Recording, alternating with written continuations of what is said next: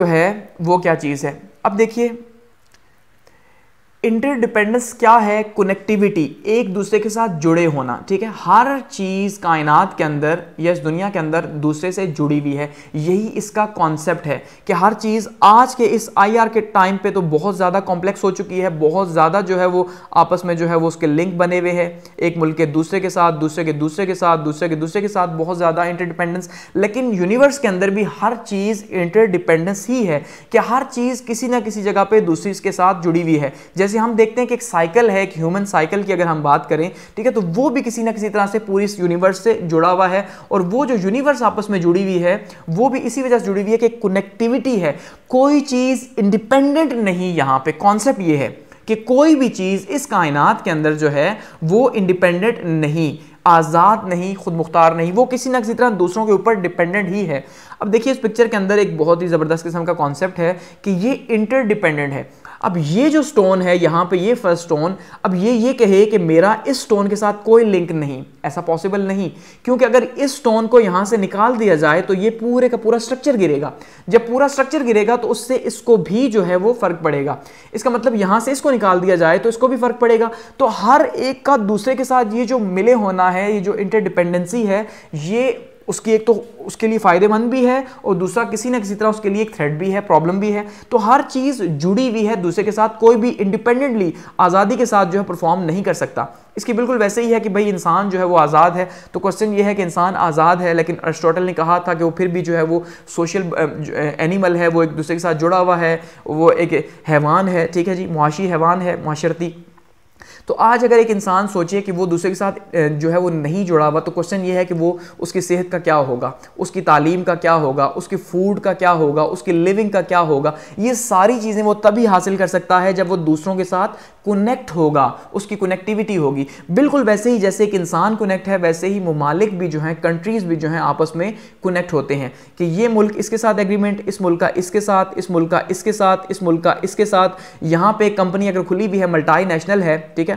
खास करके multinational बहुत इंपॉर्टेंट इसमें रोल प्ले करती हैं इंटरडिपेंडेंस के ऊपर। तो इसी मल्टाई नेशनल ने यहाँ पे भी अपना ऑफ़िस खोला हुआ है।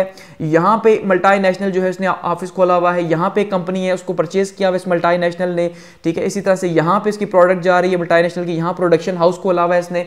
तो ये पूरे का पूरा एक कॉम्प्लेक्स स्ट्रक्चर बना हुआ है इन मल्टाई नेशनल्स का, इन ऑर्गेनाइजेशन का। ठीक है, इन इंस्टीट्यूशन का, जो सबसे मेन रोल प्ले कर रही है। मल्टाई नेशनल्स हो गई, ठीक है। या फिर इंस्टीट्यूशंस हो गए तो ये क्या कर रहे हैं? ये आपस में कनेक्ट हैं ममालिक आपस में कनेक्ट हैं और यही इंटरडिपेंडेंसी है कि एक दूसरे के ऊपर डिपेंड कर रहे हैं। अब यहाँ से मल्टाइनेशनल को अगर आप क्लोज करते हैं इस मुल्क से लेट सपोज़ तो क्या होगा? नुकसान होगा। इसका स्ट्रक्चर भी ख़राब होगा इस मुल्क का भी नुकसान होगा। यहाँ पर जो है वो जॉब्स ख़त्म होंगी ठीक है? इस मुल्क की इकॉनमी में जो रेवेन्यू आ रहा था वो उस, उसका नुकसान होगा। इसी तरह से आप अगर देखिए इंस्टीट्यूशन जो है इंटरनेशनल इंस्टीट्यूशन दूसरे ममालिक में काम कर उनको स्टॉप कर दिया जाए तो उसका कितना प्रॉब्लम होगा? तो हर चीज़ चीज़ आज इस चेंजिंग वर्ल्ड के अंदर जो है वो दूसरे से जुड़ी हुई है। और यही जो जुड़े होना है, यही इंटरनेशनल रिलेशंस की जान है, और यही इंटरनेशनल रिलेशंस का फोकस है सबसे बड़ा। कि देखिए, एक टाइम था जैसे 1970s के बाद चाइना ने क्या किया? अपनी ओपन बॉर्डर पॉलिसी एक स्टार्ट की कि इससे पहले चाइना एक रिज़र्व कंट्री था, वो उस अपने ही मुल्क के अंदर जो पैदा करता, उसी को यूज़ करता है उसी तरह से चलता। लेकिन उसके बाद चाइना ने इस बात को महसूस किया कि यार, जब तक मैं दूसरों के साथ रिलेशन नहीं बनाऊँगा, तब तक हालात ठीक नहीं होंगे। इसलिए उसको दूसरों के साथ रिलेशन बनाने पड़े। वहाँ पर मल्टाई को अलाउ करना पड़ा, वहाँ पर कंपनीज़ आई। अब देखिए, अब यहाँ पर ऐसा होता है कि एक कंपनी है, वो है जापान के अंदर। ठीक है? अब अगर वो जापान के अंदर है, लेकिन उसका प्रोडक्शन हाउस चाइना के अंदर है, क्योंकि लेबर सस्ता है, और यहाँ पे जो इसकी सप्लाई हो रही है पूरी दुनिया के अंदर यहाँ से सप्लाई हो रही है यूएस के अंदर कनाडा के अंदर, और हर मुल्क के अंदर जो है वो सप्लाई हो रही है वहाँ पे, इसका मतलब क्या है कि अब किस तरह से दुनिया जुड़ी हुई है कि जापान किस तरह से चाइना के साथ अपनी कंपनी के थ्रू जुड़ा हुआ है, और चाइना किस तरह से यूएस के ऊपर इंडिपेंडेंट है। इसी तरह से यूएस या अमेरिका की जो कंपनीज़ हैं, या यूके की जो कंपनीज़ हैं, वो अपने ऑफ़िस के लिए चाइना को यूज़ कर रही हैं, या जो ये कंट्रीज़ हैं ईस्टर्न कंट्रीज़ इनको यूज़ कर रही हैं क्योंकि यहाँ पे सस्ता है लेबर। नतीजे के तौर पे ये इनके ऊपर डिपेंडेंट है। तो ये इंटरडिपेंडेंसी एक दूसरे के साथ जुड़े होना, एक दूसरे के मोहताज होना एक्चुअली में यही इसका कॉन्सेप्ट है इंटरनेशनल रिलेशन के अंदर कि ये अगर निकाल दिया जाए इंटरडिपेंडेंसी तो मुझे कोई ज़रूरत नहीं या पाकिस्तान को कोई ज़रूरत नहीं कि अमेरिका के साथ, चाइना के साथ ताल्लुक रख सके। इसका मतलब अगर मुझे ज़रूरत है तब ही, क्योंकि यहाँ पर कॉम्प्लेक्स स्ट्रक्चर बना हुआ है, ठीक है? आगे बढ़ते हैं। बात करते हैं डिपेंडेंसी थ्योरी की कि डिपेंडेंसी थ्योरी क्या है? डिपेंडेंट होना, ठीक है? अब बात करते हैं डिपेंडेंसी थ्योरी अब देखिए डिपेंडेंसी थ्योरी क्या है कि अब दुनिया में मुख्तलिफ़ तरह के ममालिक होते हैं, ठीक है? अब दुनिया मुख्तलिफ़ तरह के ममालिक, अगर यहाँ वर्ल्ड मैप के अंदर आप देखिए तो कुछ मुल्क हैं जो पावरफुल हैं, जैसे अमेरिका है, कनाडा है, अमेरिका है, रशिया है, चाइना है, ठीक है? कुछ हैं जो इनसे लेस पावरफुल हैं। पावरफुल हैं लेकिन लेस अब जैसे यूके है फ्रांस है ठीक है? इसी तरह से कुछ ऐसे कंट्रीज़ हैं अफ्रीका के अंदर ख़ास करके जिनको हम थर्ड वर्ल्ड कंट्रीज़ कहते हैं जो इंतहाई गरीब हैं। और कुछ इनके बीच के ममालिक हैं जो कि बहुत ज़्यादा अमीर भी नहीं और बहुत ज़्यादा गरीब भी नहीं ठीक है? उन, उनकी अपनी क्वालिटीज़ जैसे पाकिस्तान की बात करते हैं इंडिया की बात करते हैं ठीक है? तो ये कंट्रीज़ जो हैं या यूरोप यूरोप के अंदर जो छोटी छोटी स्टेट्स हैं उनकी बात करते हैं। तो ये कौन से कंट्रीज़ हैं? ये वो हैं जो ना बहुत ऊपर हैं ना बहुत नीचे हैं। तो इसका मतलब हमें एक साइड पे एक ग्रुप दिखाई दे रहा है, जो कि अमीरों मालिक का है। दूसरी साइड पे हमें ग्रुप दिखाई दे रहा है बी जो कि हमें दिखाई दे रहा है कि बहुत ही गरीब ममालिक का है। तीसरा वो ग्रुप है, जो कि इनके बीच में कहीं पे सी ग्रुप जो है वो एग्जिस्ट करता है। अब हर ग्रुप दूसरे ग्रुप के ऊपर जो है वो डिपेंडेंट है।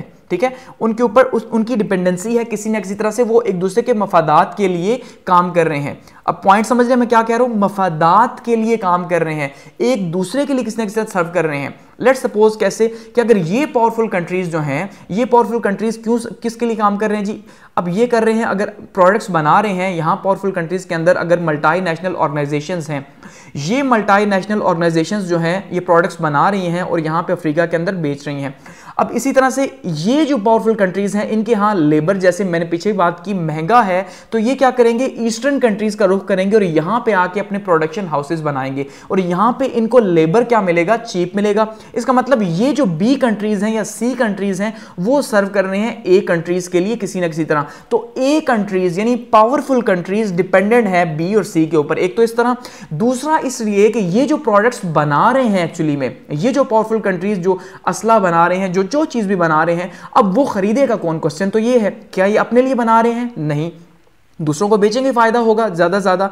इसका मतलब ये जो मिडिल क्लास क्रिएट कर रहे हैं दूसरे ममालिक के अंदर, ठीक है, पाकिस्तान जैसे गरीब ममालिक के अंदर सी कैटेगरीज के लोगों के अंदर तो यहाँ पे इन ममालिक को ये क्या कर रहे हैं? सेल कर रहे हैं वो चीज़ें। जैसे अमेरिका असला अगर सेल करता है, पाकिस्तान को पिछले सत्तर सालों से वो सेल कर रहा है तो क्या वो हमसे, हमें फ्री में सेल कर रहे हैं? हमसे तो पैसे ले रहे हैं। अगर रशिया जो है वो इंडिया को सेल कर रहा है तो क्या वो फ्री में सेल कर रहे हैं? हरगिज नहीं। इसका मतलब ये पावरफुल कंट्रीज़ किसी तरह से सी कंट्रीज़ जो हैं, या जो लेस पावरफुल हैं, उनके लिए सर्व कर रहे हैं किसी ना किसी तरह से उनके ऊपर डिपेंडेंट है। इनकी इकोनॉमी उनके ऊपर क्या है? डिपेंडेंट है। तो यही डिपेंडेंसी थ्योरी कहती है कि भाई यहाँ पे कोई भी जो है कोई भी मुल्क जो है वो आपस में फ्री नहीं इंडिपेंडेंट नहीं क्योंकि उसको जो अमीर मुल्क हैं ठीक है जो रिच कंट्रीज़ हैं उनको गरीब ममालिक के साथ जो है वो मिलकर चलना पड़ता है क्योंकि जो प्रोडक्ट बनाते हैं वो उन्हीं के लिए हैं। इसी तरह से जो गरीब मुल्क हैं उनको अमीरों के साथ मिलकर चलना पड़ता है। क्यों? क्योंकि अमीर उन, उन्हें फ़ायदा देते हैं उन्हें इमदाद देते हैं सब कुछ करते हैं। इसी तरह जो मिडिल कंट्रीज़ हैं, वो दोनों के मफादात के लिए काम करते हैं।